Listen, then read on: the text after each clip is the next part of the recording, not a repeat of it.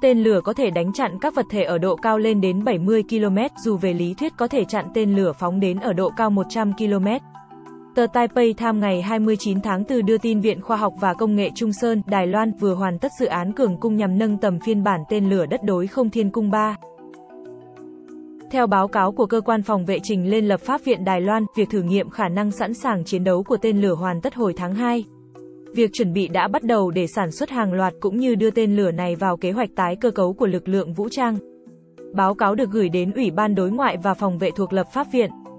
Theo đề nghị của các nghị sĩ, các đảng yêu cầu cập nhật tiến độ của Viện Khoa học và Công nghệ Trung Sơn về việc phát triển phản ứng phòng vệ trước tên lửa tấn công.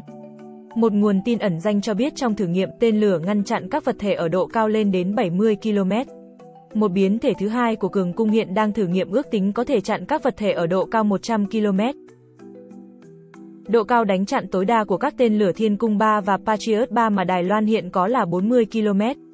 Nguồn tin trên cho biết rằng dù cường cung được xem là phiên bản nâng cấp của Thiên Cung 3, đây thật ra là hai hệ thống khác nhau. Cường cung được trang bị bộ khuếch đại công suất Vi 3 hiệu suất cao được sản xuất trong nước. Có thể đánh chặn tên lửa đạn đạo xuyên lục địa và các vật thể khác ở độ cao lớn hơn nhiều so với tên lửa Patriot do Mỹ sản xuất theo nguồn tin. Cường cung còn sử dụng vật liệu phủ đầu tên lửa mới cùng vật liệu composite cho phần thân và hệ thống đẩy hiệu quả hơn. Viện Khoa học và Công nghệ Trung Sơn đã thử nghiệm cường cung tại một cơ sở tên lửa ở Vịnh Cửu Bằng Loan ở Bình Đông, nơi có thể thử phiên bản tầm xa của tên lửa Hùng Phong 2E dưới dự án Hùng Thăng. Một phần của các cuộc thử nghiệm đó bao gồm việc mô phỏng đánh chặn một tên lửa đạn đạo, lần đầu tiên được thử nghiệm thành công tại địa điểm này vào ngày 18 tháng 8 năm 2022.